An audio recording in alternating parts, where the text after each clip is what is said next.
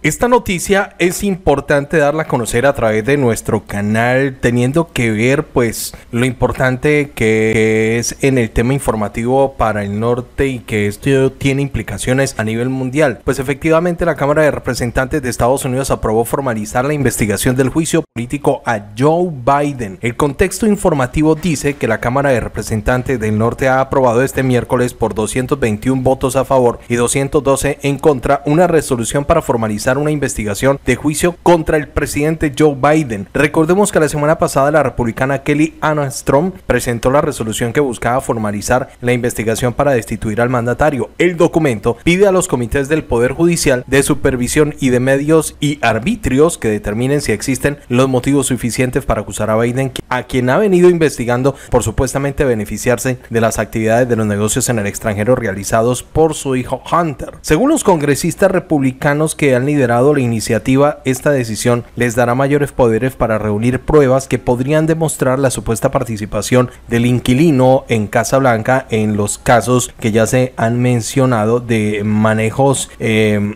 de dinero público y sobornos mientras se desempeñaba como vicepresidente durante el mandato de Barack Obama en el año 2009 a 2017. Según lo que ha dicho el congresista republicano Russell Fry en su cuenta de X, ha dicho que ahora es la investigación del juicio político que está oficialmente autorizada por la Cámara, que podremos traer testigos relevantes que se han negado a comparecer y reunir documentos adicionales que no se han presentado, indicó el congresista en la cuenta de X. Luego de estos resultados de la votación, Biden acusó a los republicanos de la Cámara perder el tiempo en un truco político sin fundamento y asimismo desacredita las acusaciones en su contra en lugar de hacer algo para ayudar a mejorar la vida de los norteamericanos que se centran en Carmen con mentiras, es lo que ha dicho Joe Biden tras conocer esta información. Hasta el momento, los promotores de la investigación no han aportado pruebas directas de hechos ilícitos cometidos por Biden. Por otra parte, si finalmente la Cámara vota a favor de la destitución del presidente, es poco probable que esa resolución sea aprobada en el Senado, controlado por los demócratas, es lo que por el momento están diciendo comentaristas occidentales y es una de las noticias importantes que tenemos en las últimas horas, así como también se tienen de